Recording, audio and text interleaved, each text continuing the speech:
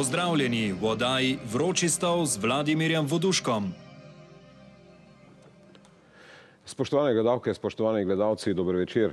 Prah, ki ga je dvignila osrednja proslava ob dnevu državnosti, se še vedno ni polegal. Nesoglasja niso razdelila samo slovenske politike, ampak tudi javnost. Tudi koalicijske stranke so včeraj ostale na različnih stališčih glede državne proslave, na katero niso bile povabljene vse veteranske organizacije, kar je pravzaprav razlog za ostre odzive.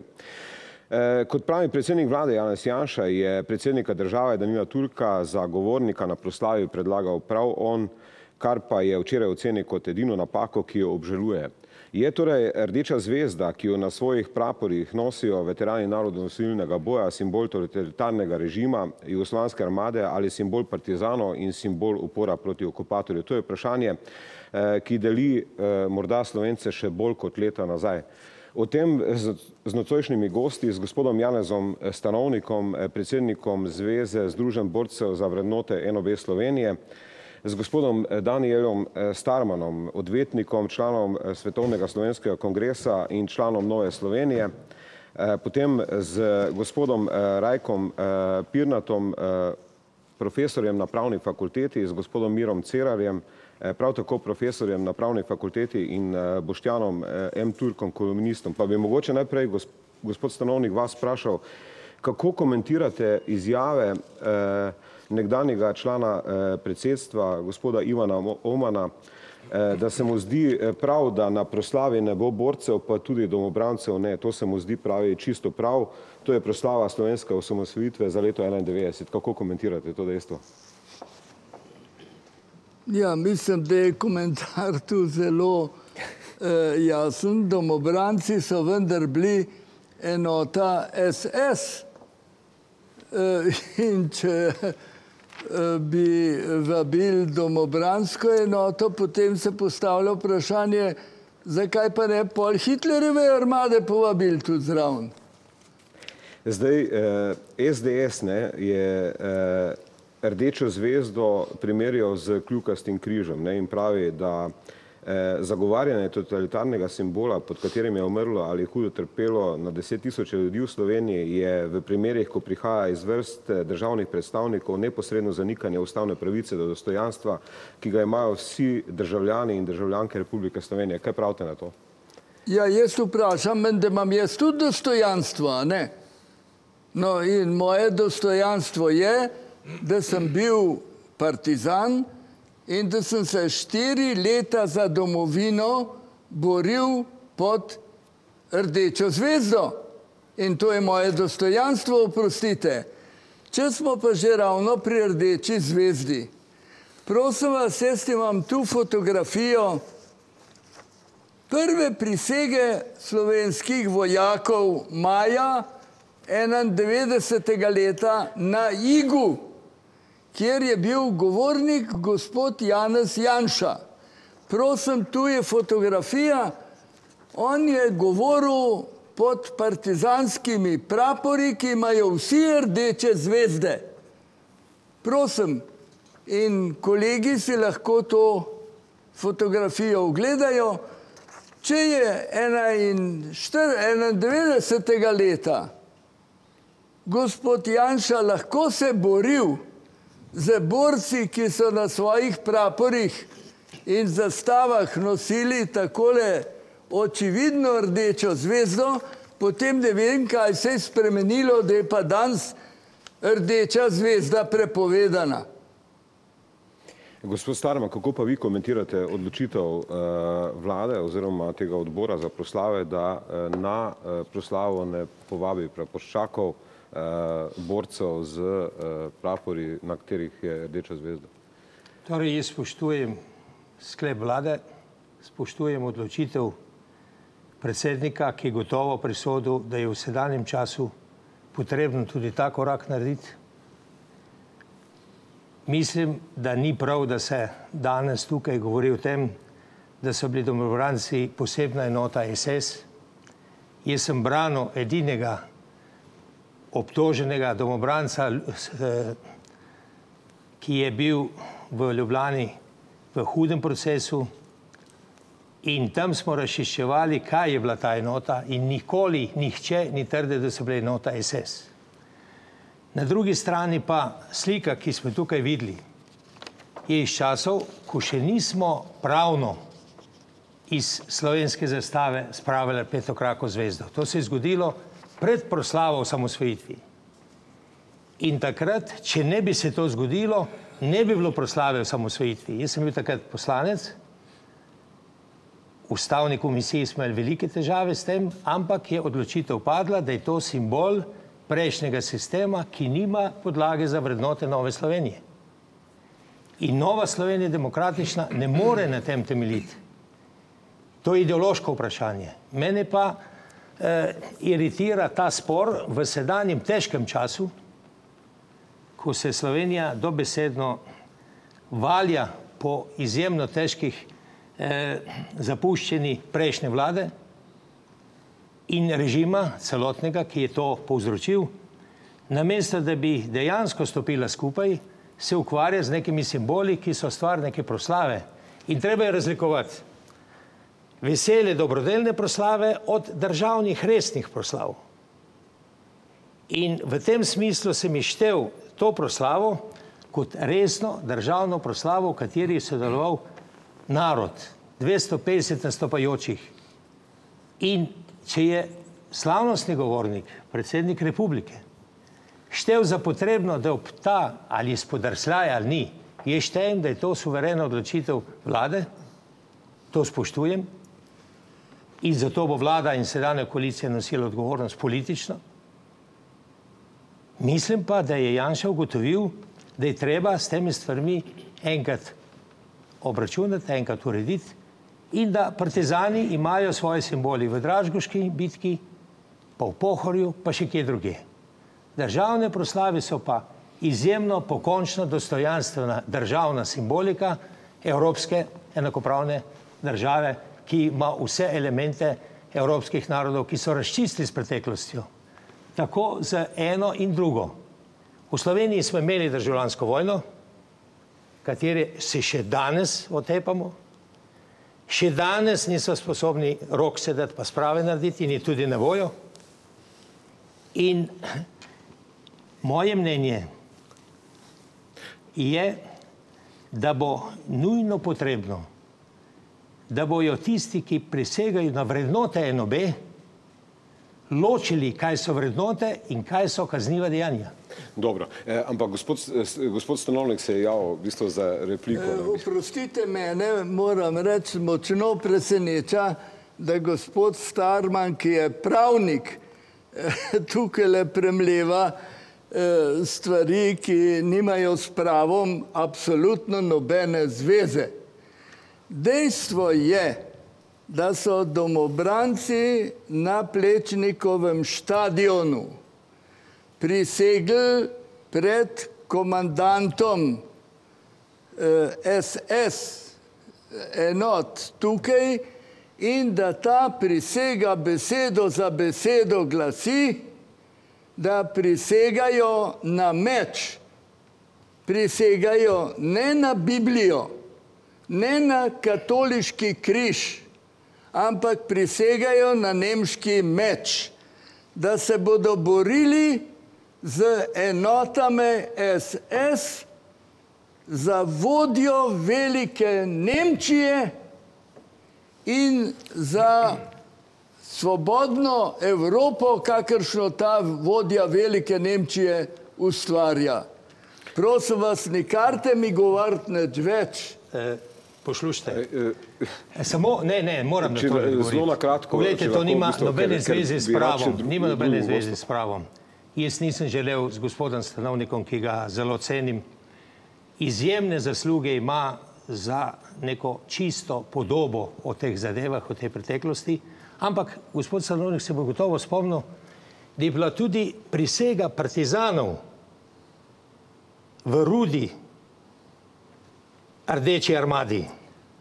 Prisega Rdeči armadi, zvestob Rdeče armade. To je tudi prisega. Jaz nikoli nisem in ne bom zagovarjal prisege na stadionu, o katerem se govorili. In domobranska stran je to obsodila in crkva je obsodila. Ampak Nikoli pa pritezani ne priznate tega, da ste prisegli rdeči armadi zvestobo. In ta rdeča armada je nosila in še nosi in nosila to zvezdo. In tukaj je zelo, zelo bolševizma in zelo izdaje. Dobro, še gospod Stanovnik, no, dam še enkrat besedo. Ja. prosim ja. vas, no, ampak meni je dejansko, oprostite, vi ste me povabili na ta pogovor iz, in mi niste gre, rekli, da bo vse tale gnoj iz uh, zgodovine prišel na dne. Dobro, Moram reči, jaz, jaz nisem predlagam, pripravljen, da s tem gnojem razpravljam. Dobro, gremo naprej. Jaz predlagam, da, eh, da eh, gospod Pirnat, eh, vi ste v bistvu bili zelo zadržani do teh odločitev, da se na proslavo ne povabi prapoščakov oziroma borcev NOB-a. No, seveda in iz razlogov, ki so očitni zaradi tega dogajanja po tej proslavi. Ne glede na to, kakšen odnos ima kdo do preteklosti, je očitno, da gre za vprašanje in simbole, ki globoko delijo slovence. In eh, če je kdaj bil trenutek, ko je slovensko ljudstvo pokazalo to potrebno kohezivnost in enotnost, je bila to osamosvojitev. In eh, zato se mi je zdelo popolnoma nepotrebno eh, na osrednji proslavi, ki naj bi tudi simbolizirala to enotnost in kohezivnost, storiti karkoli, kar bi ločevalo ljudi. In seveda eh, odločitev, da se določeni simboli, Dej, lahko imamo različne odnose do teh simbolov. Jaz osebno mislim, da je rdeča zvezda simbol marsičesa drugega, nikakor ne samo eh, totalitarnega režima, ki je nastopil po vojni. Jaz so, tu se z oceno ustavnega sodišča strinjam, ampak rdeča zvezda ni simbol nujno samo Ustav, tega. Ustavno sodišče je odločalo že? Ne o rdeči zvezdi, ne. o eh, zadevi Titova cesta. Ne, cesta ja. kaj je, da je šlo za totalitarni režim in da obstojijo simboli totalitarnega režima. Vendar je to vprašanje tu ne bistveno. O tem seveda lahko razpravljamo, o tem lahko uh, na drugem mestu. Gre za osrednjo uh, slovensko proslavo Dneva državnosti in ta more biti taka, da z ničemer ne deli uh, duhove, da ne deli slovence eh, na tak ali drugačen način. In moram reči, da vse, kar se je v zvezi s tem to proslavo dogajalo, je šlo ravno v to smer. Zato sem bil zelo žalosten. Jaz sem izjavil, da sem s to proslavo pa res prav žalosten, kaj se je zgodilo. Uh, ker ni imela več tistega naboja združevanja.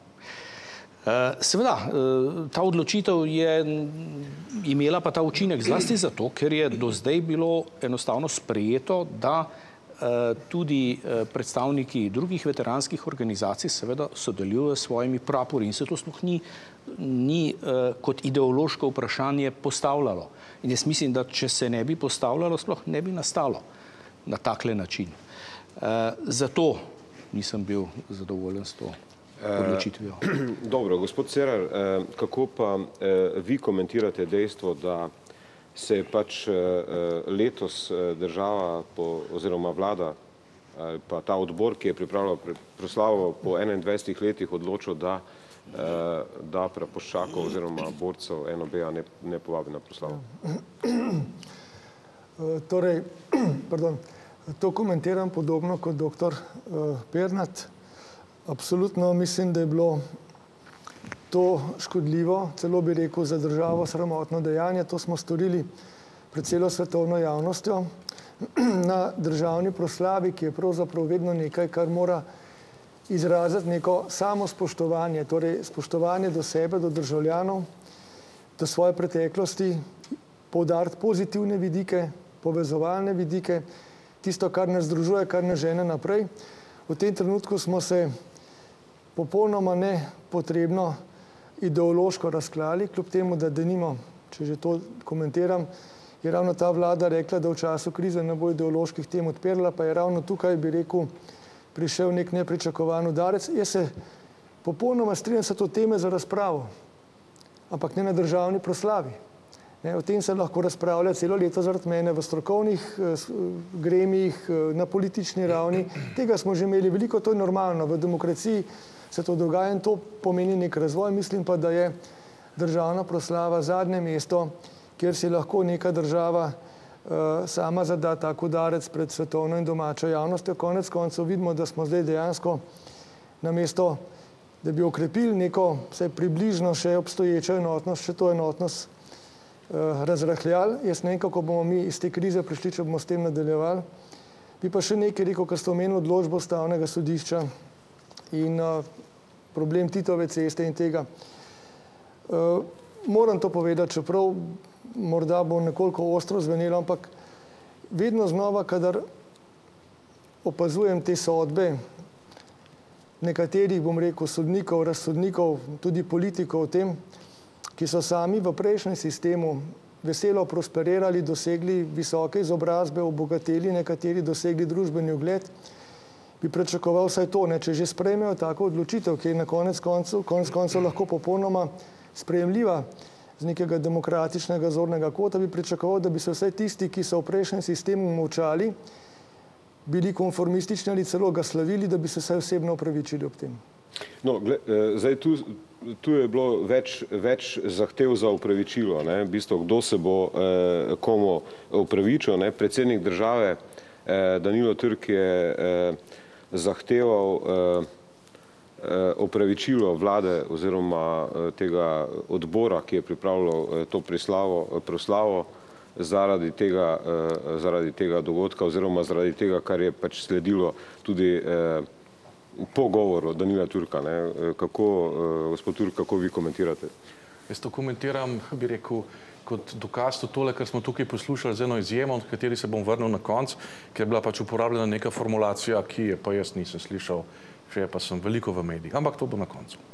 E, torej, meni se zdi to seveda nas stvar ne velike, globoke slovenske infantilnosti in nezrelosti poskušamo se postaviti v Furlanijo, Julijsko krajino, poskušamo se postaviti eh, v Celovec, poskušamo se postaviti v Pariz, poskušamo se postaviti v London, poskušamo se postaviti v München in poskušamo v Münchnu, Londonu, Parizu, eh, Bologni, Toulouseu recimo razvijati eh, rdeče zvezde in zastave in govoriti take stvari, ki jih mi govorimo.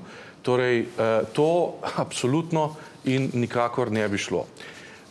Rdeča zvezda ostaja po znanstvenih analizah s katerim sem tudi jaz imel srečo, da sem bil pritegnen, Stefana Kortvaja, ostaja pač sistem, ostaja pač simbol, najbolj um, odprt in viden simbol sistema političnega, ki je bil um, mednarodno okarakteriziran kot kriminalen.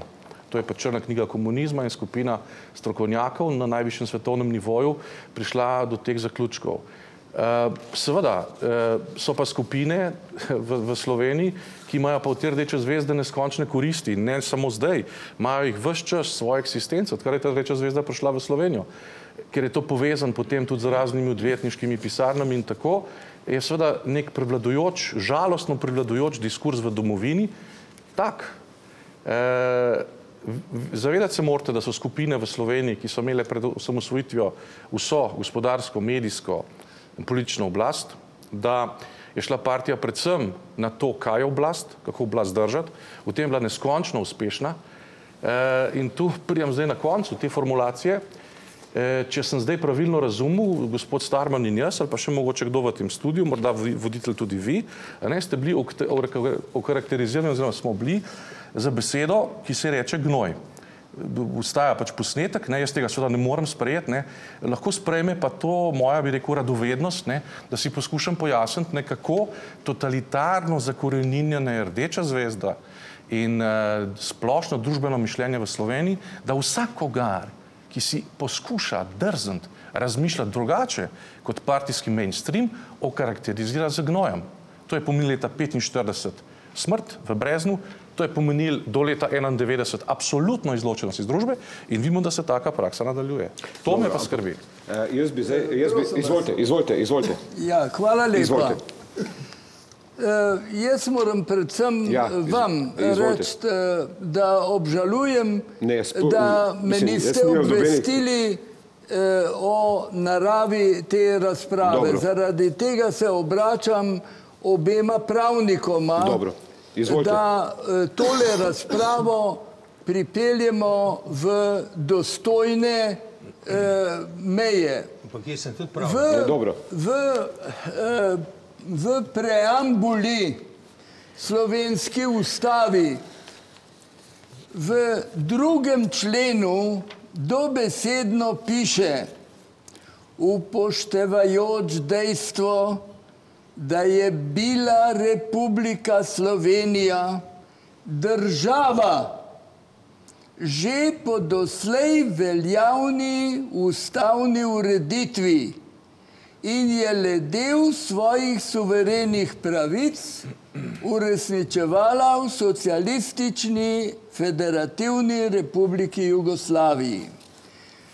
To se pravi, da smo v ustavo napisali, da je Republika Slovenija bila država, Preden je bila ta ustava sprejeta in preden smo se osamosvojili, mi se nismo osvobodili, mi smo se osamosvojili 21. leta, državo smo pa ustvarili v teku narodne osvobodilne borbe.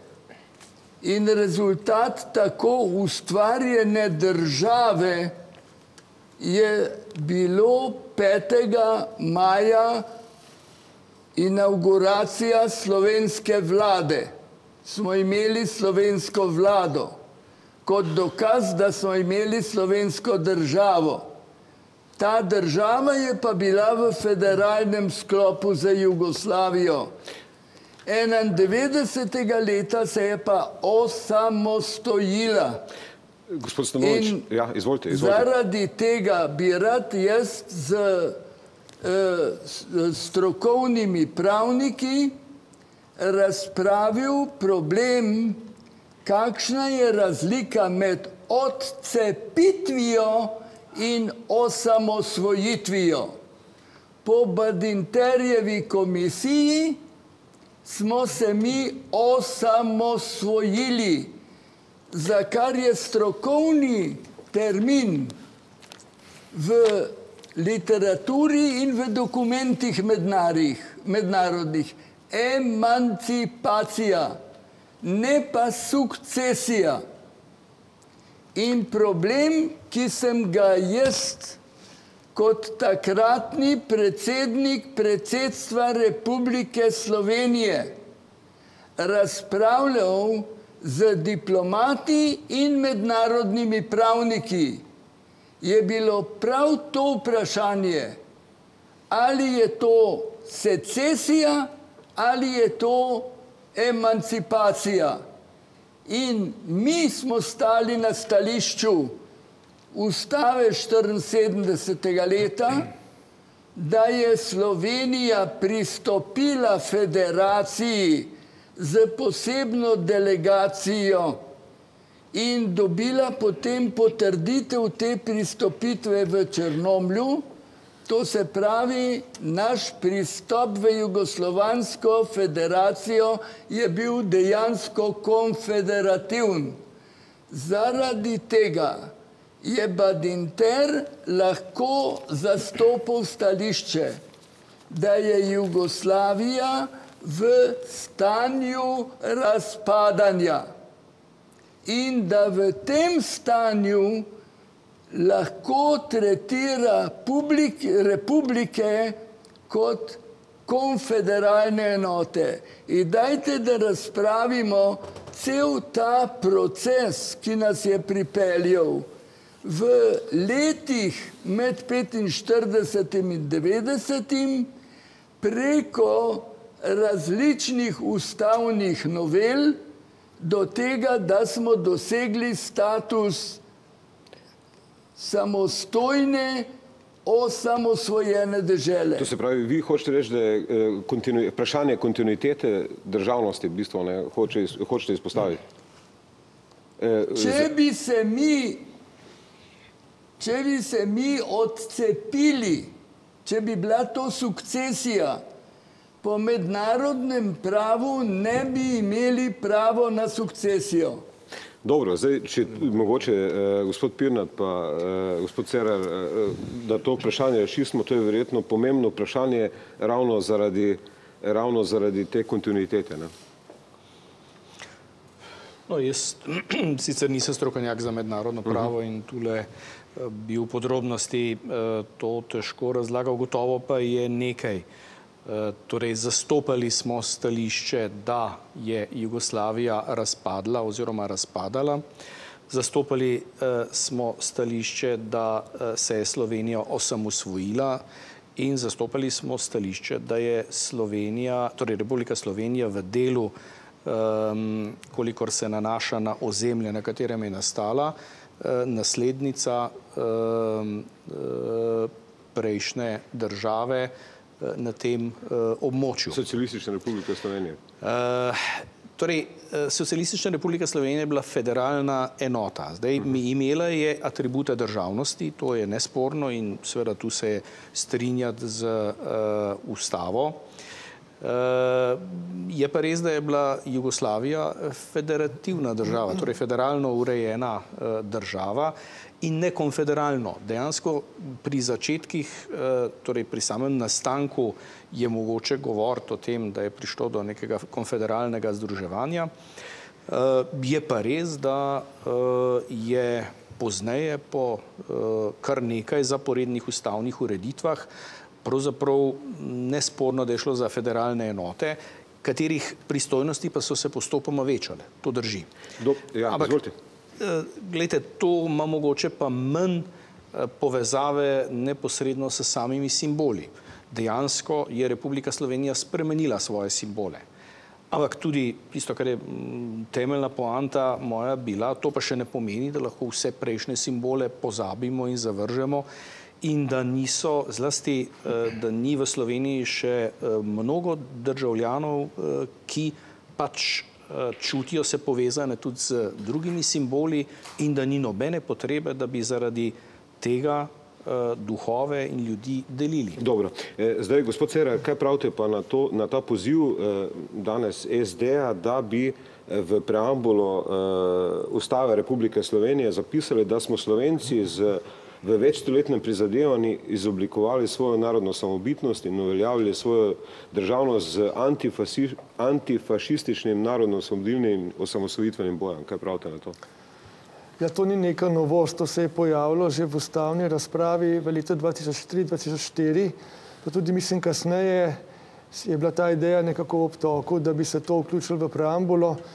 Jaz sodim med tiste, ki smo absolutno prepričani, da je to še en ena poteza, ki bi nas samo ideološko spet začela deliti, brez uspeha, da bi seveda dosegali dvotretinski konsens, da gre to v ustavo. In mislim, da je to tudi en tak nepotreben, da se tako izrazim, dražljaj v tem času, ko se potrebujemo, ko se moramo osredotočiti na druge teme. Ne na zadnje je to lahko po nekem razumevanju implicirano že v sedajni preambuli, če pa kdo misli drugače, ima pa tudi vso pravico in jaz mislim, da je nesmiselno ta hip odpirati tako močna vprašanja, ki samo poglabljajo te naše spore izpred 70 let in dobro tudi do nedavnega. Jaz mislim, da je treba resnično se začeti zavedati, da če smo ustvarili svojo državo, moramo zdaj v njej in z njo počasi začeti odraščati. Odraščanje pa pomeni dozorevanje. Mi smo dosegli z osamosvojitvijo neko emancipacijo, postavili smo se na svoje noge, nikakor pa še nismo dozoreli, odrasli v smislu, da bi se naučili sodelovati, naučili skupno neko sinergijo ustvarjati v smeri definiranja nacionalnih interesov, za katerega se bo potem levica in desnica pri ključnih točkah skupaj prizadevala. Nimamo te kulture sodelovanja v politiki dovolj razvite, imamo politični primitivizem na raznih koncih, imamo premalo pravne kulture, pravna država šepa in tako naprej, da ne govorimo o etični zavesti in podobno. In tukaj so naši glavni izzivi. Jaz se strinjam, da je treba absolutno iz preteklosti, ki ne smemo ignorirati, ne, poteč, na, pote, potegniti nauke, oceniti, kaj je bilo slabo, kaj je bilo zavržno, kaj je bilo nečlovečno, nehumano, tega je bilo žal veliko, tudi bratomorna vojna in drugo, revolucija, vse ostalo, pa tudi naprej, predtem in kasneje.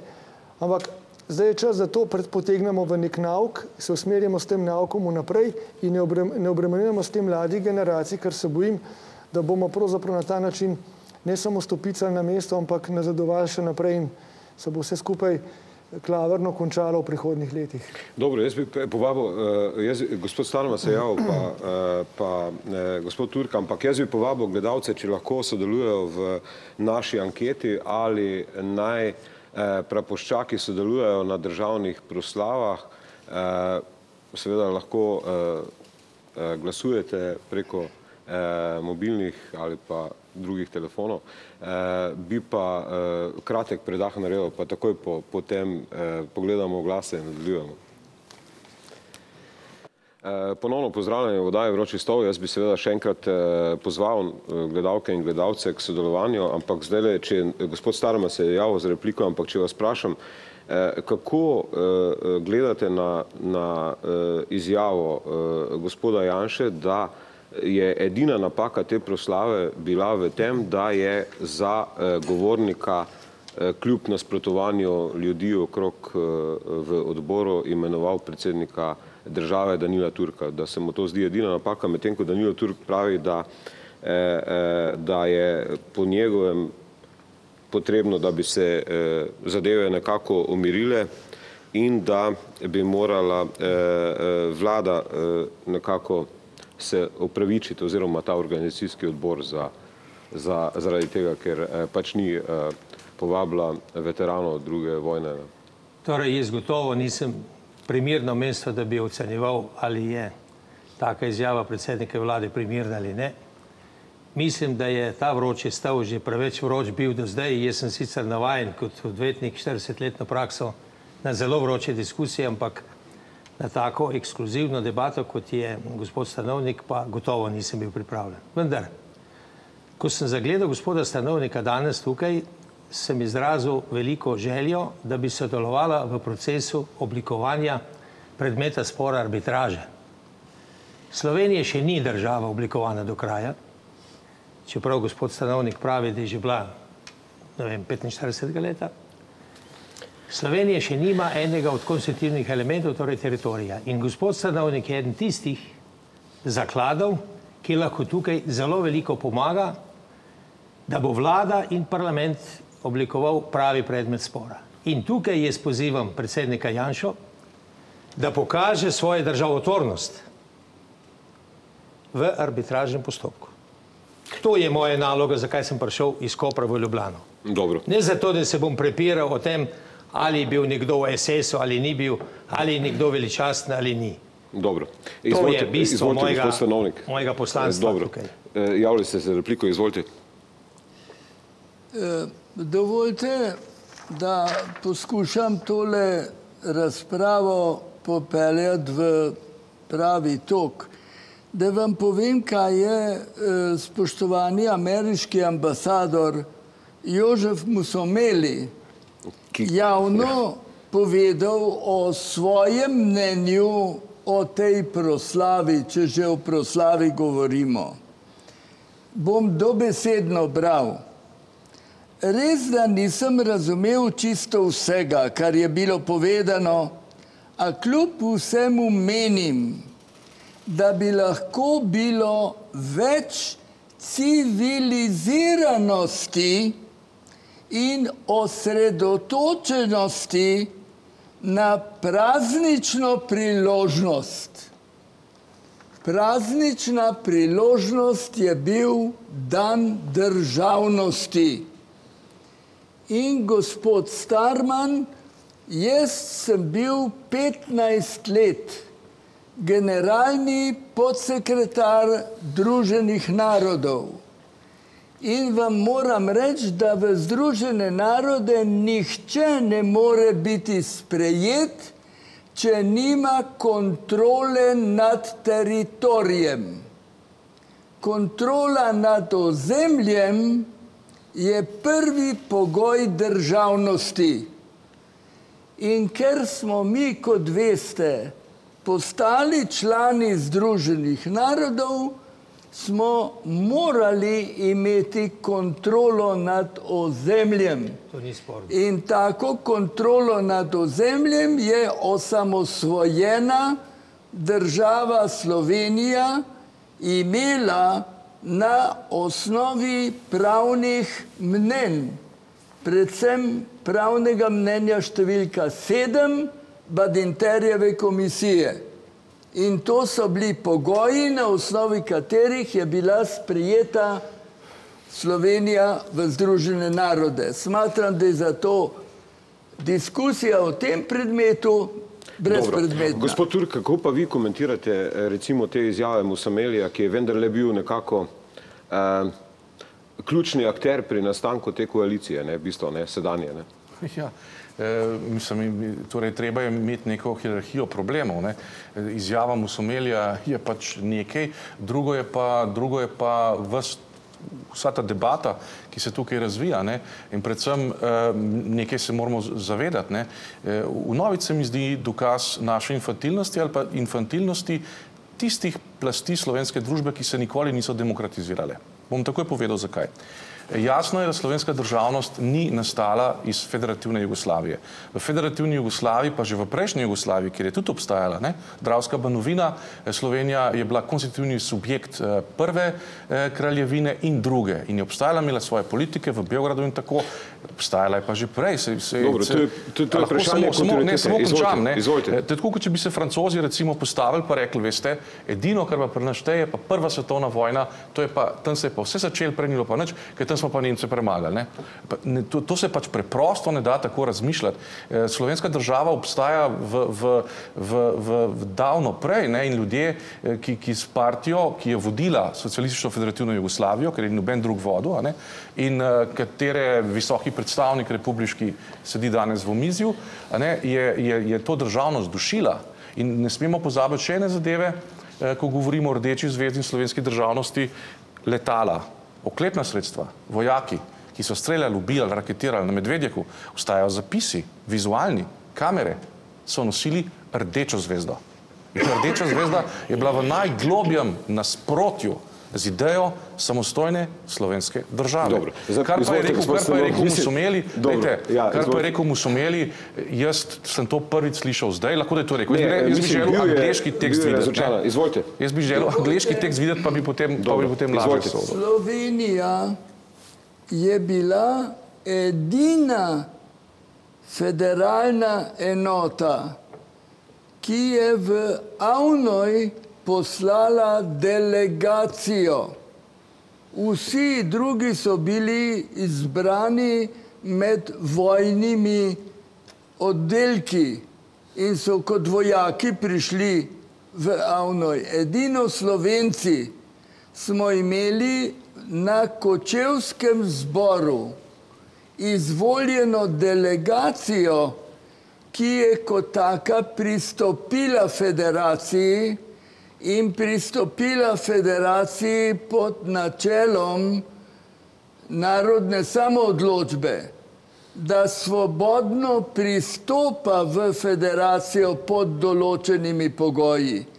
Mi smo pod takimi pogoji v federacijo pristopili, ker so bili pa ti pogoji in ta načela v Jugoslaviji rušeni, smo pa iz Jugoslavije odšli, prav tako, kot smo v njo prišli. Zdaj tole, če vas vprašam, eh, kako komentirate v bistvu to izjavo, da je bila, da je bila v bistvu, da so jugoslovanska armada oziroma njeni simboli, da so bili globoko proti eh, slovensko, eh, slovenski osamosvitvi oziroma kako komentirate nekatere, eh, nekatere eh, citate, eh, da ste eh, v bistvu vi ocenili eh, odhod iz Jugoslavije kot zelo, eh, kot usoden v bistvu, ne?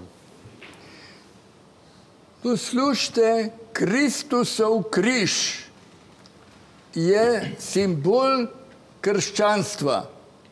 Za to razliko, da krščanst, kristijani svojo dobo računajo od Kristusovega rojstva, ampak kristijani niso nikdar rekli, da stare zaveze ne priznajo. Danes se pa reče vse, kar je bilo pred JBTZ, je tema. Ne priznamo. Ja. Uh, zdaj ne vem, več, več je bilo, uh, hotel sem iz, iz, izvolite replika, pa potem gremo na neke druge. Jaz sem mislil, jaz sem mislil torej, seveda, to je primerjanje, prvič ni nobenega duhovnika tukaj v mizu, da bi to lahko se nam ga aplicirali, križ, drugič pa to primerjanje jabolk pa hrušk. E, to nima popolnoma nobene zveze, se, se, ni, se ni bil simbol, ki je, ki je Slovenijo napadel, se smo to videli, se, se ni bil križ, se je bila rdeča zvezda. In, in JBTZ nihče tega nasprotno, tle se moram pa obram postaviti. E, te, slovenska pomlad je bila utemeljena na tako imenovani diahroni viziji slovenskega naroda skozi vsa stoletja. Nihče od akterjev, pa tule je v, v, vsaj dva v omizju sta danes prisotna, ni govoril, da se je Slovenija, slovenska zgodovina začela z afero JBTZ. To pa preprosto ni res. Dobro. Eh, če še torej, gospod Sarma, na kratko repliko, potem pa gremo ne, na, na drugo. Gospod Stanovnik mi je všeč, da je s križem tudi začel in vsi nosimo svoj križ. Gospod Stanovnik pripada krščanskim socialistom in krščanski socialisti niso bili taki bolševiki, kot danes slišimo. Nikoli. In kolikor izvem, Kocbek je spoznal svojo katarzo, svojo globoko zmoto, svoj greh je trpel tudi pod sistemom, In Kocbek, če bi danes slišal nas, bi se zjokal, da danes poveličujemo petokrako zvezdo, ki je bila kriva za hudo jamo, za kočevje, za vetrinje, za vse te stvari. Dobro. Poglejte, hudo je, jaz ne bi rad razpravljal o tem in koga prizadel, ampak gospod stanovnik je sposoben preskoka in vizije, ker je njegove izjave na raznih proslavah so tako globoke, tako dementarno nasprotne z bolševizmom, pravim, da mi čudi, da danes v zvezi z neko proslavo, ki bo jutri pozabljena, pozabljena, ne šteje, kaj je bistvo, da je slovenski narod dobil demokratično državo ki do zdaj ni, do takrat ni imel. Demokratično. Izvolite, gospod Stanovnik. Prosim vas, gospod Starman, ne žalite mojega mentorja Edvarda Kocbeka. Mene je Kocbek vzel v svoj krok, ko sem bil star 17 let in me vključil, prosim te, 17 let starega mladeniča. In nas je še nekaj takih bilo. Je vključil v uredniški odbor revije Dejanje. Če bi Kocbek, s katerim sem jaz živel na posreden ali neposreden način, ker sem pač 30 let svojega življenja živel v tujini. Trdim pa danes in sem prepričan, da bi njegova dva sinova danes to potrdila. Če bi Kocbek bil danes še živ, bi s ponosom nosil kapu z rdečo zvezdo. Ker je zved, rdeča zvezda za njega pomenila partizanstvo, tovarišija. To je bilo za Kozbeka rdeča zvezda. Ne pa prevarantstva, pa poboji in vse to, kar se je obešalo na rdečo zvezdo. Rdeča zvezda je ponos za mene in bi bil ponos za Edvarda Kozbeka. Eh, Samo malo repliko. Do... To, pre, to preprosto ne drži, se moram zelo postaviti. Če pogledamo stvari z nekega širšega zornega kota, zame slovenska dimenzija je pomembna, ampak ni pa bistvena. Mi imamo eno osebo, ki je bila Kocbekov sopotnik. Kocbekov sopotnik, ki bo stopila avgusta meseca v stoto leto svojega življenja in ki je popolnoma prištevna in je najbolj znanih slovencev danes. To je Boris Pahor. Boris Pahor, obsoja totalitarno ideologijo, tako tisto, ki ga je takrat zaprla in poslala v noro, ne, kot komunizem se je pod njim trpel. In Boris Pahor je, je najboljši lakmusov papir, kako bi Kocbek reagiral, kajti Boris Pahor je ne zveza komunistov, gospod Sanovnik, ampak Boris Pahor in ta skupina in usilka Kocbekov ga izročila. E, e, izvolite. Če tale gospod pozna Kocbeka boljš od mene, potem jaz zamočim. Dobro, jaz bi sam, če gremo naprej iz tega le, eh, ampak eh, kakšne posledice, gospod Cerar, bo, bo eh, ta proslava imela za eh, eh, vladajočo koalicijo? Ne? Zdaj, včeraj se je eh, sestala koalicija, rekli so, da so pet minut eh, namenili temu, da pač ima država druge probleme, ampak vendarle so eh, padale hude besede, ne, v bistvu, ne. Gospod eh, Erjavc je rekel, da bo, če se bodo te stvari odpirale, da bo koalicijo zapustil, da ni pripravljen nje sodelovati. Zdaj, eh, tudi eh, znana je polemika med gospodom Viratom pa SDS-om, ne, v bistvu, ali je to res stvar, kot, kot pravi gospod Starman, zdaj nekega enodnevnega ali pa enotedenskega uh, dogajanja ali bo to ostalo v bistvu?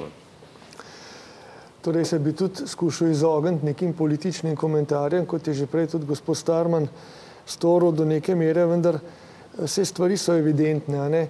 Sama, sami predstavniki, ki ste jih navedel in nekateri drugi nakazujejo javno, da je koalicija na nek način prišla glede tega v konflikt, v spor in to samo ne na vrhu, ampak tudi seveda če pogledamo z vidika članstva strank v določeni meri. Jaz mislim, da ta spor seveda ne bo ta hip na površini bistveno vplival na, na to koalicijo, ta bo obstala, bo delala naprej, ampak seveda to je ena od tistih ran, ki si jo je sama zadala, uh, Eh, ki morda nekoga v njej krepi, nekoga slabi, ampak ni produktivna za njeno moč. Še posebej, Koga, recimo, mislim, zdaj verjetno, mislim, verjetno eh, hod, ja, pogledajte, imate, logično, ti, tiste, ki so bili s to proslavo bolj prizadeti, ti so pa zdaj nekako prizadeti in ko si ti prizadet na nek način, racionalno, emocionalno, kakorkoli, seveda nisi več polno pri stvari ne?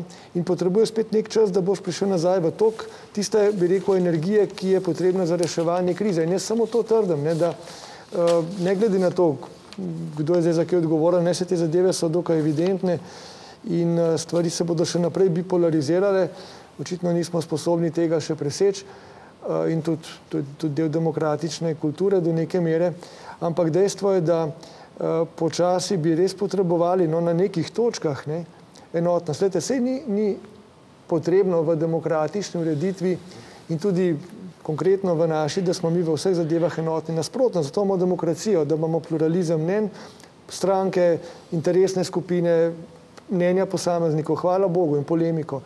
Vse to je legitimno, tudi ta polemika, kakorkoli je na momente mučna.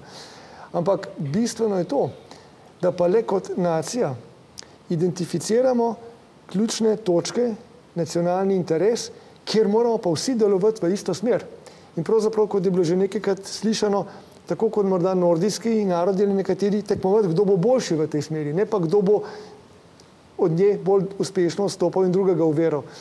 In tega, te, te stopne demokratične kulture pa še nismo razvili oziroma nismo dojeli, da se nam črno piše, če ne bomo na nekih točkah enotni. Dobro, e, to je bistvo, e, zdaj posledica, prve posledice so že tu, ne, na koalicijskem sestanku, e, potem ni bilo več soglasja o spremembi referendumske zakonodaje, da o zlatem pravilu ne govorimo, mislim, ki je že prej bila zavrnjena strani, mislim, da pozitivna Slovenije, pa tudi SD ima nekaj problemov, ampak v bistvu ta referendumska zakonodaja se premika v 2015. Mislite, da je to tudi posledica teh zadnjih dogodkov ali, ali gre za druge interese? No, ne vem, če je posledica zadnjih dogodkov, kolikor se spominjam, je to pozitivna Slovenija celo omenjala že prej, da ni to posledica samo teh dogodkov, gotovo pa je poslabšalo možnosti, da bo kakršnakoli ustavna sprememba eh, sprejeta. Eh, in jaz se po pravici povedano tudi nisem pričakoval. No. Zdaj, ta, ja, izvolj. Eh, ja, izvolj samo samo to ja, dokončam. Ja. Referendum je sicer potrebno spremeniti, ampak zelo težko bo. Um, tisto, kar pa je gotovo, je pa to, da uh, ne samo znotraj koalicije, ampak tudi med koalicijo in opozicijo to vse več delitev povzroča. Uh, Eh, in zdaj mi se glede komentarjev lahko samo sprašujemo, ali je to namen, da se odvrne pozornost od kakšnih drugih problemov, ali je eh, pa to nekak stranski učinek, ehm, ideologiziranja. Ja, zdaj ene, mislim danes, eh, da je odpiranje ideoloških vprašanj diverzija od privatizacijskih igr, mislim vlade, to je eh, mnenje ene od opozicijskih strank SD-a. A se strinjate s tem? Ali... Um, jaz sem postavil bolj vprašanje. Po dejanjih bomo sodili različne politike. Dobro, izvolite, gospod Stanovnik. Prosim vas, zdajte, da se pogovarjamo kot ljudje. Jaz bom govoril o zlatem pravilu in zahtevi, da se zlato pravilo unese v ustavo. Postavljam pa vama sledeče vprašanje. Janšina vlada nas je kot narod mednarodno zadolžila za 8 milijard. Potem pa Pahorjeva vlada nas je v manjšem razdobju, v treh letih, zadolžila še za 8 milijard. Zdaj pa te dva, Janša pa Pahor, pravita, da je treba napisati v ustavo, da nihče nikdar več ne sme delati to, kar sva mi dva delala. Ja, poslušajte. Izvolite, je to skregano s pametjo ali ni? Samo sekundo, ta, ta stvar sploh ne drži. Ne? Torej, podatek, da je Janševa vlada zadolžila Slovenijo za 8 milijard, je popolnoma neresničen. Ne? To, so vse, to so vse eh, v financah, smo to kokrat videli, v časopisju, kokrat videli, televiziji, kokrat videli to primerjavo. Ne? Je pa zadolžila Pahorjeva vlada, seveda. In zdaj, to, in zdaj to rešujemo. Izvolite, gospod. Ni tako enostavno, kot bi se v pogovoru eh, gospod Stanovnik rad eh, upravičil. Stvar je v tem, da ustava kot temeljna pogodba naroda, tisto, kar v njej piše, je moralno in pravno zavezujoče. In vse resne države Evrope imajo zlato pravilo v ustavi. In v sedanji, resne države govorim, in v sedanjem času, ne glede na Pahorja, ne glede na Janšo, ne glede kogarkoli bo, je prav, da je to tudi zaradi ljudi in zaradi njihovih financ in zaradi osebnih, osebnih zadev in odnosa do države, prav da je to v ustavi. Zato tisti, ki se temu izogibajo, nimajo čistih namenov. Nimajo čistih namenov. Zlato pravilo je prav, da je dvignjeno na ustavni nivo. Izvolite.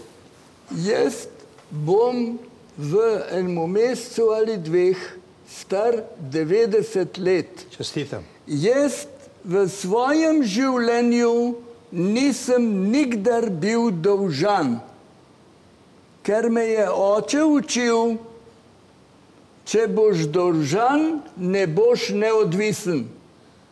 In zaradi tega je hotel, da sem advokat, ker je rekel, to je edini način, da si v družbi neodvisen. Pa sem ga izneveril in ste vidite, da nisem nikoli bil advokat. Prosim vas pa sledeče. Ste rekli, ni bilo 8 milijard zunanjega dolga. Vproste, cel Darsov dolg se je prevrgel na državo in v tujino.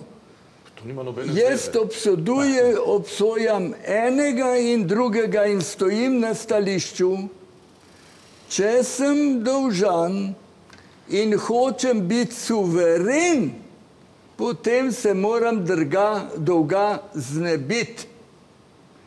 Če pa jaz v ustavo napišem, da od zdaj naprej nihče se ne sme brez dovoljenja Brusla zadolževati, potem se pa pri meni užge ena rdeča luč. Ja, se to so pa tudi tiste z Beograda od mene hoteli. Pa sem rekel, ne, dokler sem živ. In tudi tem rečem, ne, dokler sem živ. Torej, samo to, gospod Stanovnik, eh, gospod Stanovnik je zelo dober advokat svojega lobija. Odličen advokat in to že desetletja. Hvala lepa.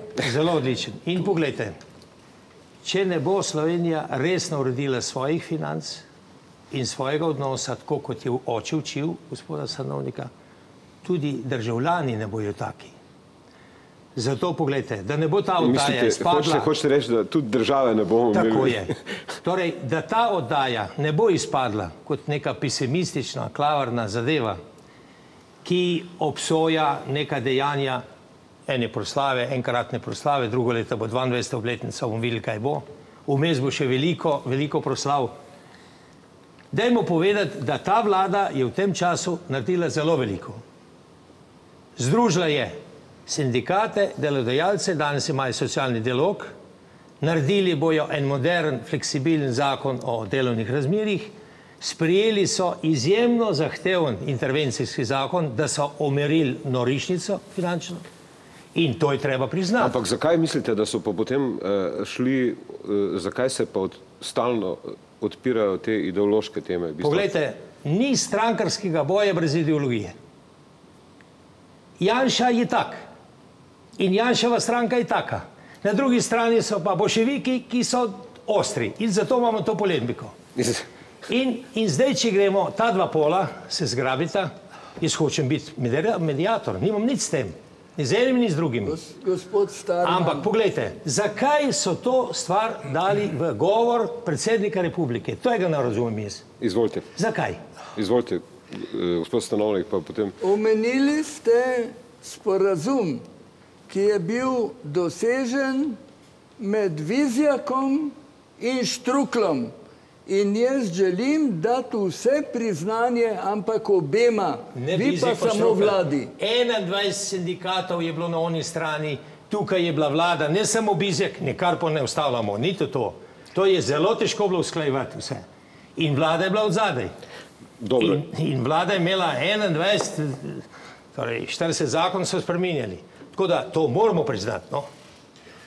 E, dobro, jaz bi, ja, sam... Ne samo vladi, ja, tudi sindikatom. Se strinjam, seveda. Jaz bi sam, eh, vem, da so replike, takoj eh, nadaljujemo z replikami. Jaz bi sam eh, kratek predah naredil, pa pogledamo glase, nadaljujemo z replikami. Gledalcevi pa seveda povabo k glasovanju. Eh, ponovno, ponovno pozdravljeni v oddaji eh, Vroči stol. Zdaj dve replike so bile, če lahko na kratko, da, ker smo v zadnji tetini oddaji. Eh, gospod Cerar se je najprej javil, mislim, da, za repliko ste se javili. Ja, ni bila pravzaprav replika, samo ker je bilo ravno govor o fiskalnem pravilu, se mi zdi mogoče dobro ponovno poskusiti, da zadevo dvignemo v tej razpravi na neko drugo raven. Namreč, jaz mislim, da ta ustavna razprava o fiskalnem pravilu je bila dobra za Slovenijo zato ker je nas usmerila v nekaj skupnega, v nekaj, kar je v osnovi pozitivno. Se pravi, ne smeš več trošiti, kot imaš, da tako rečem. Ne, skratka, v neko razumno, varčno politiko. Seveda pa je hkrati odprla nekaj vprašanj. Namreč vsi vemo, da uh, včasih si moraš tudi sposoditi, da lahko investiraš, da lahko potem več prineseš nazaj. In seveda, ko smo delali na tem fiskalnem pravilu, bil sem skupaj s temi strokovnjaki, tudi predvsem ekonomisti, pa nekaterimi pravniki, Eh, so se seveda pojavili neki resni problemi in tukaj je, je zadeva nekako zastala na strokovni ravni, čeprav strokovna skupina je pa svoje delo korektno do konca upravlja.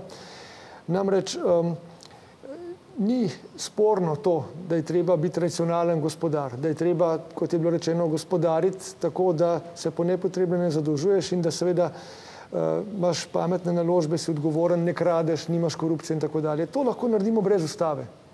Zato ne rabimo ne zakonov, ne ustave, zato rabimo enostavno neko normalno človeško moralo in etika. In tukaj je ključni problem pri nas, predvsem pri naših elitah, ki seveda tega eh, principa, ta princip ignorirajo in seveda dajo slab zgled.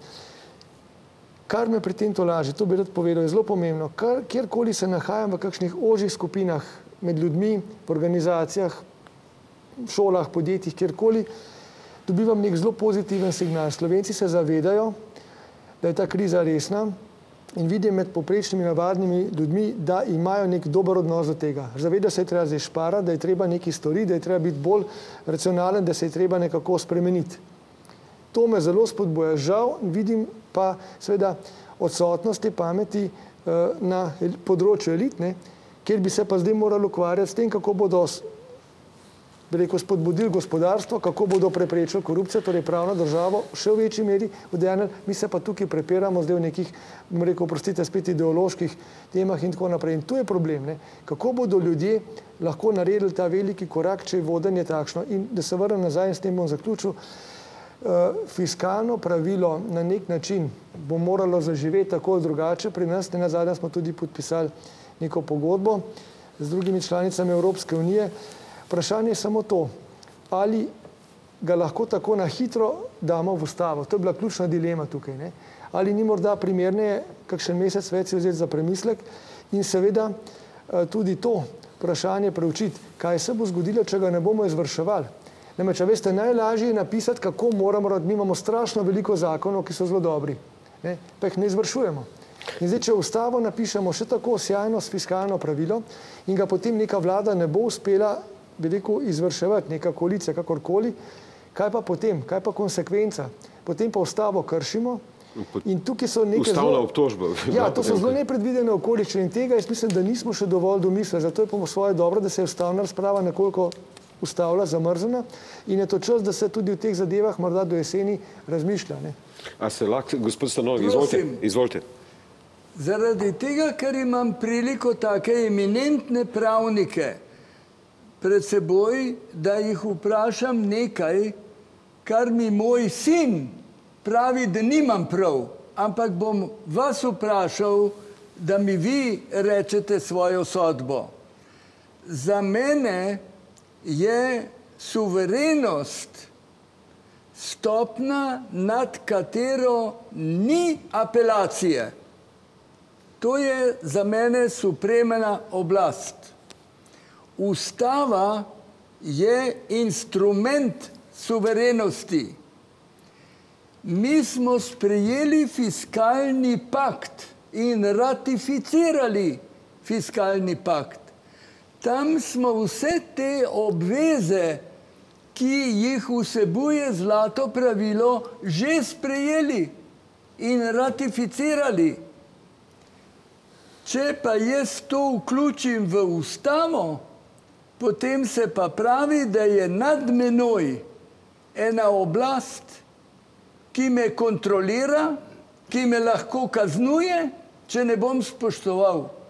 In ta simbolni problem je moj problem. Jaz hočem, da je moja domovina suverena in da nad njo ni ne Beograd, ne Bruselj. Izvolite, gospod Pirnat, verjetno boste vi odgovorili na to. No, gledajte, prvič, Republika Slovenija je del suverenih pravic prenesla na um, Evropsko unijo. In to jasno izhaja iz 3a člena ustave. In seveda, kolikor je v okviru te unije podpisala še ločene meddržavne sporazume in fiskalni pakt je poseben meddržavni sporazum, jo ti zavezujejo, ne glede na to, da še vedno je suverena država. Zdaj, v meddržavnih razmerih je malo pravnih pravil takih, da imajo tako imenovan neposredni učinek. Večina, večino meddržavnih pogodb je treba z ustreznimi instrumenti nacionalnega prava prenesti v nacionalno pravo. Zdaj, ali je treba uh, fiskalni pakt prenesti na ustavni ravni ali, zakon, ali na zakonski ravni, um, jaz menim, da bi uh, tudi zakonska raven zadoščala, kolikor razumem, fiskalni pakt ne, zadeva, uh, ne zahteva uh, ustavne ravni. Nimam pa nobenega problema, če se z neko dovolj splošno formulacijo zapiše v ustavo. Mislim pa, da je tisto glavno, kar moramo pri ustavi paziti, pa je, da z njo sami sebe ne ustrelimo v koleno. Torej, da si ne napišemo nekaj, kar uh, uh, v določenih okoliščinah ne bo mogoče izvajati. Najmanj, kar je, je treba, uh, veste, različne določbe ustave morajo biti uravnotežene. Sej to so tudi, če, uh, če to izredno ne pišemo, ampak uh, ni mogoče ideologizirati samo uh, in idealizirati samo uh, fiskalnega pakta. Zdaj predstavljajte si, da se neka vlada zaradi takih ali drugačnih okoliščin znajde v položaju, da ko se mora zadožiti, ko bi se morala za zadožiti za to, da plača, eh, da, da eh, financira nujne potrebe socialne Španija, države. recimo, ali pa, ali pa Grčija. Marsikaj je potrebno lahko nujno Ciper, financirati. Bistvo, ja. Dobro, zdaj uh, ne vem, kakšne so okoliščine. Oziroma, oni pravijo, da, so to, da je to posojilo govorim, privatnim bankam, ampak ok. Poglejte, tisto je druga stvar. Ampak jaz tule govorim zdaj o primeru, ko bi imeli fiskalni pakt v uh, ustavi in bi se vlada znašla v položaju, da bi bodi si kršila pravila socialne države iz ustave ali pa to pravilo o ravnotežju uh, javnih financ. Ja, razumljivo je, da v takem je treba neko razumno uravnoteženje teh, eh, teh ustavnih določb, ustavnih zavez eh, zagotoviti in jaz sem zelo za to, da se natanko premisli, kakšne so lahko posledice in Dobro. kako kaže to no, uravnoteženje. Mislim, neka, neka logika v tej razpravi je, glede na, glede na to, da smo prej razpravljali o soverenosti in kontinuiteti držav. Eh, eh, na, eh, Dobro, izvolite. Ne, hodil sem, vse bo videl, da ima smisel. Hodil sem, to, sem, to kar je kolega Pirnet rekel, to je se mi zdi temeljno, pa se to se bo tudi tako zgodilo, fiskalno pravilo ne se zapiše v zakon, ne v ustavo.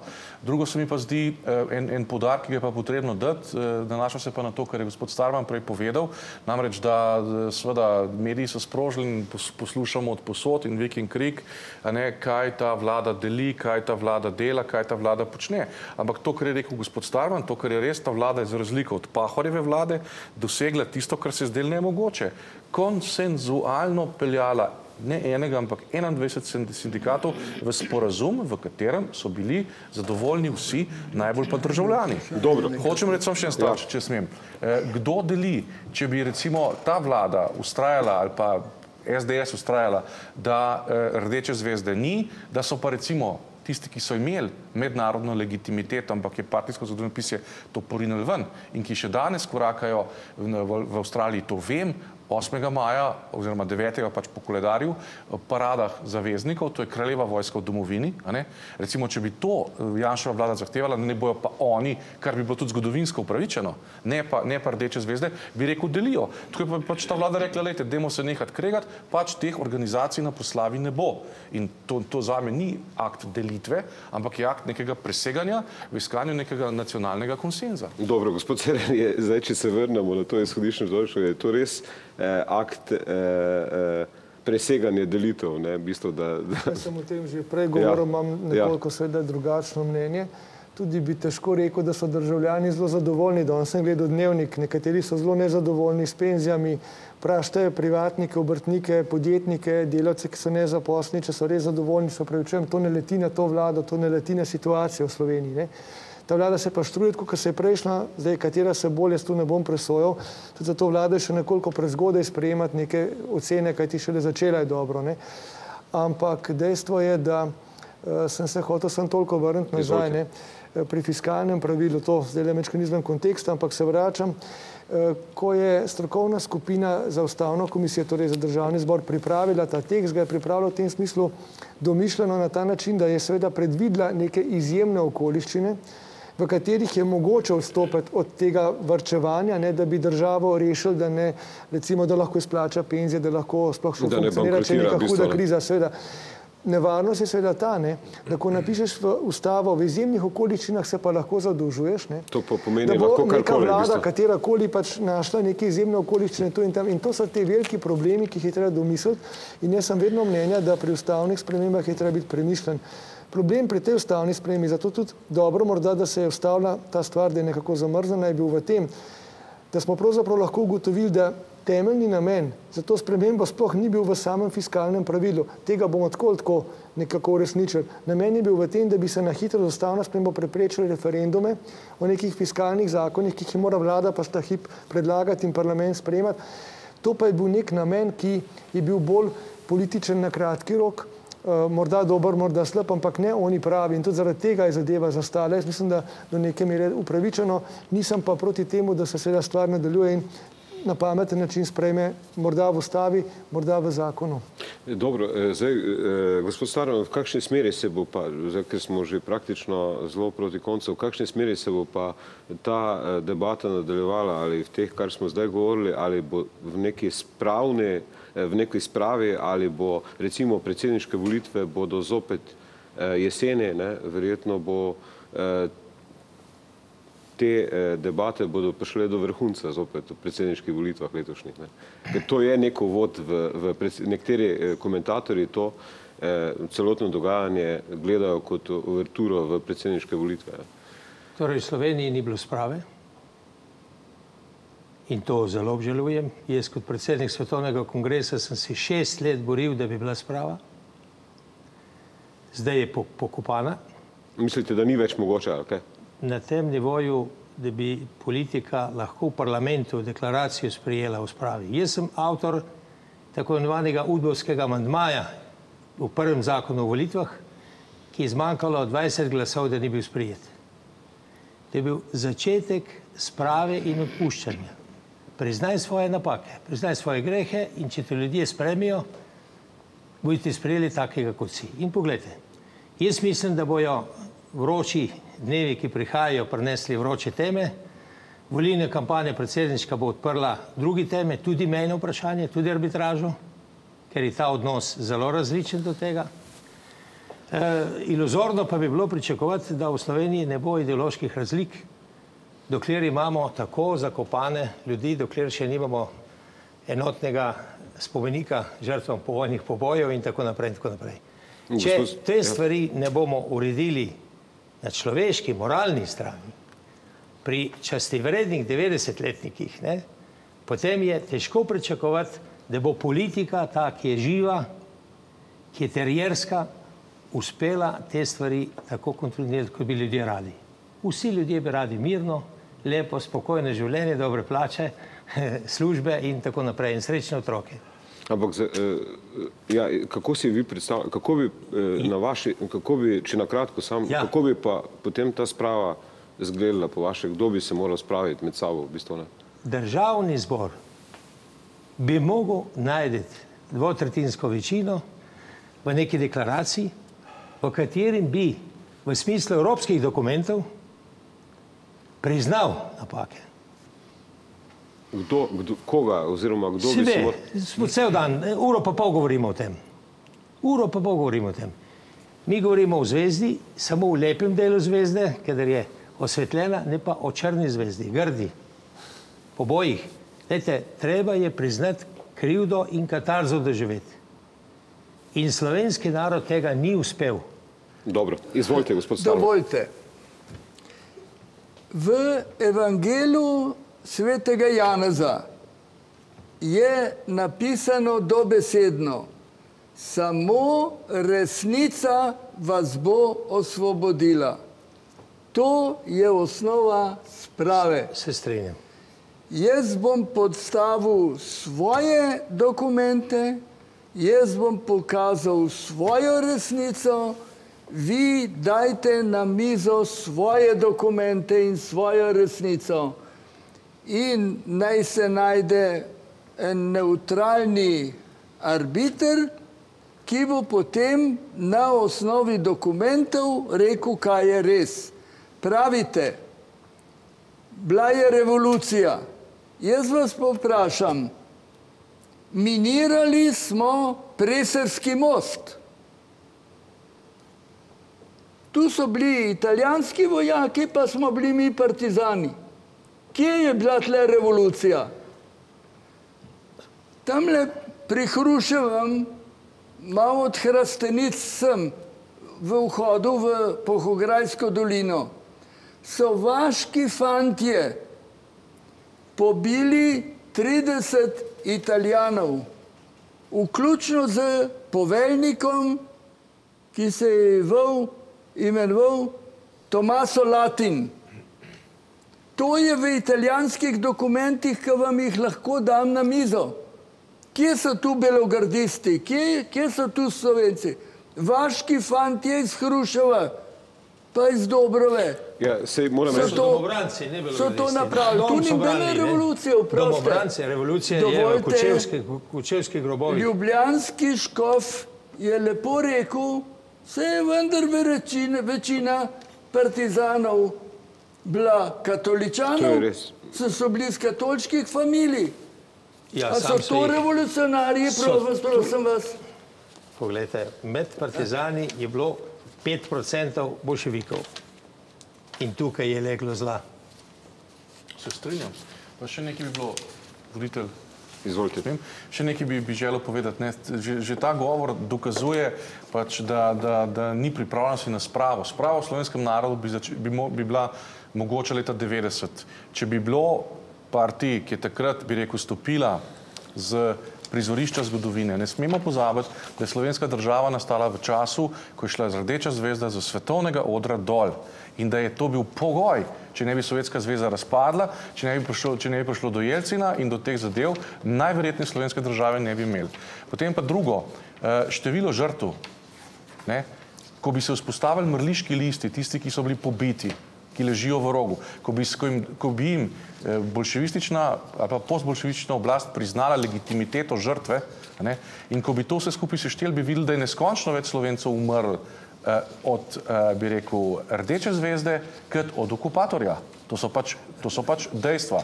In drugo, kako naj jaz verjamem, a lahko samo nekaj, a lahko samo nekaj, kako naj jaz verjamem, lejte, ne me prekinja, jaz vas nisem prekinjal, ne me prekinja, prosim, Institut za samo novejšo končam. zgodovino je pravkar objavil znanstveno raziskavo poimensko z 25 specifičnimi podatki in je ugotovil, da je v Sloveniji v času vojne življenje izgubilo 97 tisoč ljudi. Slovencev.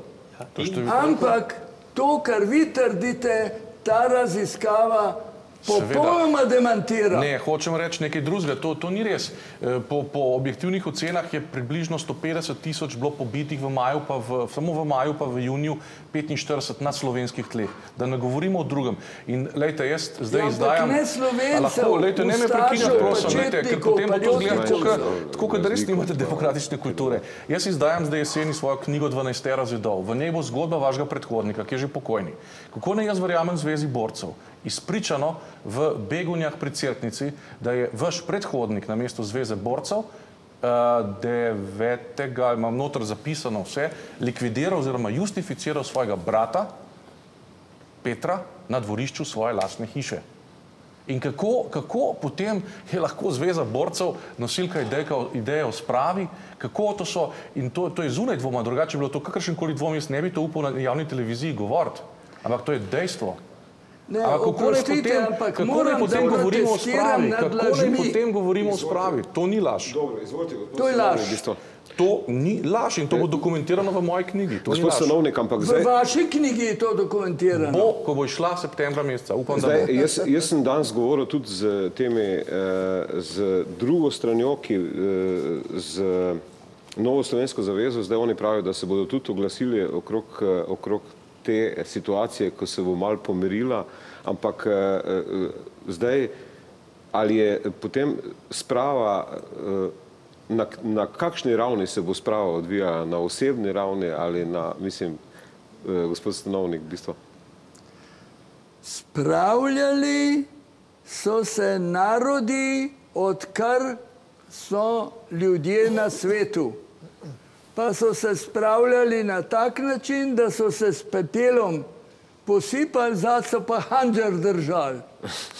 In do današnjega dne so farizeji govorili, da se, da se spravljajo, evangelist Matej je pa rekel sledeče: Vi ste kot pobeljeni grobovi, na zunaj ste beli in lepi, na znotraj ste pa umazani in polni vsakega smrada in gnosobe. Dobro. Taka je ta sprava. Samo, eh, ker, ker smo praktično že pri koncu, če dam še eh, vendarle gospodu Pirnetu pa gospodu Cerarju besedo, ne, v bistvu, kakšne, kakšne posledice bo to imelo v bistvu, ta, ta razprava za, za to volilno kampanjo predsedniško, eh, ki, ki, se bo, ki se je praktično že začela. V bistvu. No, začela se je na neki zelo neformalni ravni, zdaj formalno se kampanja še ni začela. Ampak eh, težko bodo to teme, seveda, ki se eh, jim bodo lahko kandidati popolnoma izognili. Eh, Jaz sicer mislim, da em, je predsednik republike izrazito funkcija, ki mora biti predsednik vseh slovencev. Torej mora združevati in ga nobena politična stran, in tule smo danes videli, gotovo so v naši družbi politične strani, ki so globoko razdeljene o teh vprašanjih odnosa do preteklosti. Ampak predsednik republike ne sme biti tisti, ki bi kakorkoli simboliziral to razdeljevanje, ki bi bil tak, da bi ga eni dojemali kot svojega, drugi kot njihovega, torej kot tujega. Ravno tem delitvam, torej jaz mislim, da bo uspel kandidat, ki bo uspel se izogniti tem temam čim bolj in tem delitvam in poudarjati to naravo povezovalno naravo te funkcije. Samo še, mislim, na, na kratko, če lahko, v bistvu sam stavek, ker smo praktično že... že ja, jaz se s profesorjem Pirnetom popolnoma strinjam. Predsednik republike mora biti povezovalna oseba. Jaz sem bil predsednik predsedstva in mi je bila velika čast, da so me imenovali očeta naroda, ker sem skušal povezovati da sem Bavčarja vabil v svoj urad, ga obveščeval o vsem, kaj je napravil. Vse to je napisal, vse to je objavil in predal policiji. Policiji me je ovadil. To, prosim vas, je sprava. E, samo še na, za, mislim, na predsedniških volitvah pa potem, v bistvu, če lahko samo neko zaključno misel o tem. Jaz se zelo, zelo strinjam s tem, da je predsednik simbol in za mene je najboljša vladavina prosvetljena monarhija. Ne beseda monarhija vzeti za sveto, ampak predsednik, recimo, Italijanski predsednik sedanji je za mene vzor predsednika. Dobro. Napolitano. E, še na kratko, gospod Cerar, a je med temi kandidati kdo, ki, ki tem kriterijem ustreza? To bodo pač voljivci presojali, oziroma bomo voljivci, ko bo čas za to. Mislim, da bo, če se bo stvar nadaljevala v taki smeri, ko, v katero se je smerila ta razprava, zelo vroča in zelo ideološko obremenjena in Jaz si želim, da ne bi bilo tako. No, želim si, da bi se res ukvarjali z sedanjostjo in prihodnostjo, ne da bi pozabili na preteklost, ampak da bi se ukvarjali z nauki iz preteklosti, pa gradili naprej. Ne? Dobro. In... Jaz bi eh, še izvolil, ne smemo pozabiti, da prav ta predsednik je tisti, ki je najbolj ideološko delil z najbolj ortodoksnimi prijemi od Ertla do, ne, to, to moramo vedeti ob tem. Dobro, jaz eh, ne bi eh, zdaj odpiral nove debate, prosim bi režijo sam, da nam pokaže rezultate glasovanja ali naj prepoščaki sodelujejo na državnih proslavah, mislim, da je 44 za, 56 proti, zdaj nimamo časa, da bi komentirali eh, te, rezul, te rezultate, ampak eh, mislim, da gospod Stanovnik, vi ste hodili... To ni kompliment, gospod Stanovnik. Eh, jaz bi na tej točki zaključil, zahvaljujem se vam za sodelovanje v nocojšnji vdaji Vroči stol, bila je zelo vroča, z večjih razlogov, vam spoštovane gledalke in gledalci pa hvala za pozornost in lahko noč.